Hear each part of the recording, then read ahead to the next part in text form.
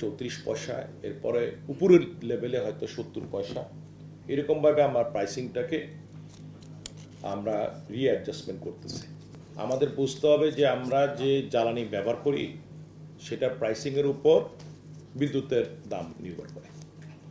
এবং আমরা কয়লার যখন পাওয়ার প্ল্যান্টগুলো আমরা নিয়ে আসছি, সেই সময় ডলারের যে ভ্যালু আর কয়লার যে দাম ছিল, তার থেকে অনেক পরিবর্তন হয়ে গেছে। পার ডলারে প্রায় চল্লিশ টাকা ডিফারেন্স হয়ে গেছে, পঁয়ত্রিশ টাকা। আমরা সত্তর থেকে পঁচাত্তর, আশি টাকা ধরে ডলারের ভ্যালু করছিলাম যখন কোল পাওয়ার প্ল্যান্ট ছিল। এখন আমাদের ভ্যালু ধরতে একশো দশ টাকা, সরকারি আর বেসরকারি তো আর বেশি সুতরাং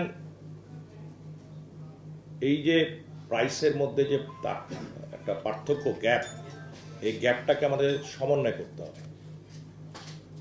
আমরা প্রাইস ইনক্রিজ কখন বলব? যদি আমাদের at per price break even থেকে প্রাইস আমরা বাড়িয়ে দেই, তাহলে সেটাকে ইনক্রিজ বলা যায়। কিন্তু যখন আমরা জ্বালানির সাথে সমন্বয় করতে যাব, সব দেশই তা করে। যে কোনো দেশে যান, জ্বালানির উপর প্রাইসিংয়ের উপর, বিদ্যুতের প্রাইস উঠানামা করে। সুতরাং ওইটার সাথে আমাদের সমন্বয় করতে হবে, এছাড়া উপায় নেই। আমরা এখন যে কাজটা করতেছি খুবই অল্প পরিমাণ। চৌত্রিশ পয়সা পার ইউনিট একটা নিচের লেভেল যারা আছেন, আমরা, আমাদের লাইফ লাইন গ্রাহক আছে প্রায় এক কোটি চল্লিশ লক্ষ তারা চার টাকা করে বিল দেন। আর উপরের দিকে যারা আছেন, তারা ষাট টাকা করে তাদের চার্জ কিন্তু আমাদের উৎপাদন খরচ পড়ে বারো টাকায় এভারেজ সরকারের একটা বড় অংশ কিন্তু এখানে ভর্তুকি হিসাবে অ্যাডেড হচ্ছে।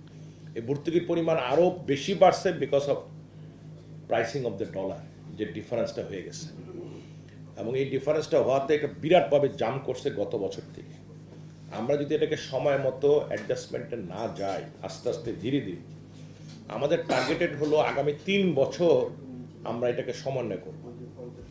এবং যাতে কিনা একটা সহনীয় পর্যায় থেকে সমন্বয়টা হয়, সেটার একটা ব্যবস্থা আমরা নিয়েছি। আমরা যে যাচ্ছি অল্প অল্প করে যে চৌত্রিশ পয়সা, এরপরে উপরের লেভেলে হয়তো সত্তর পয়সা, এরকমভাবে আমার প্রাইসিংটাকে আমরা রিঅ্যাডজাস্টমেন্ট করতেছি। এবং এটা আমরা চাচ্ছি মার্চের প্রথম সপ্তাহ থেকে এটা শুরু হবে এবং পরবর্তী সময়ে হয়তো দুই, তিনবার আমরা প্রাইসে এই অ্যাডজাস্টমেন্টটা খুব অল্প ধীরে ধীরে যাব। এবং আমাদের তেলের ব্যাপারেও আমরা মার্চের প্রথম সপ্তাহ থেকে এটার অ্যাডজাস্টমেন্ট শুরু হবে। আমাদের ফাইন্যান্স মিনিস্ট্রির সম্মতিক্রমে আমরা ডাইনামিক ডায়নামিক প্রাইসিংয়েতে যাচ্ছি। ডায়নামিক প্রাইসিংও একই অবস্থা। যদি ওয়াল মার্কেটে ক্রুডের দাম বাড়ে সেটার সাথে অ্যাডজাস্টমেন্ট হবে। যদি ওয়াল মার্কেটে ক্রুডের দাম কমে সেটার সাথে অ্যাডজাস্টমেন্ট হবে। সুতরাং এখন থেকে বলা যায় যে বিদ্যুতের ক্ষেত্রে আমরা ভর্তুকির থেকে ধীরে ধীরে বেরোয় যাওয়ার জন্য আমরা প্রাইস অ্যাডজাস্টমেন্টে যাচ্ছি, সমন্বয় করতে যাচ্ছি। আর তেলের ব্যাপারে আমরা ডায়নামিক প্রাইসিংয়ে যাচ্ছি।